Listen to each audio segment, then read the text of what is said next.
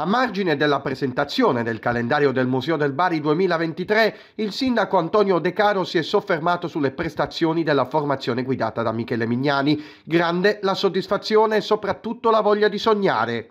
Queste due vittorie ci fanno guardare con più fiducia al futuro di questo campionato, però devo dire l'ultima partita in particolare ha, ha fatto emergere uno spirito di gruppo, un gioco di squadra, una determinazione, una condizione atletica straordinaria. Spero sia l'anno giusto per tornare in quel posto, non lo dico, non lo cito per scaramanzia. Un pensiero da parte del primo cittadino non è mancato neppure a proposito della cavalcata mondiale di Cheddira col suo Marocco. Non abbiamo nemmeno il goleador in questi giorni che è stato impegnato ai mondiali per sua fortuna ma anche credo per fortuna nostra perché siamo stati tutti orgogliosi di vederlo lì.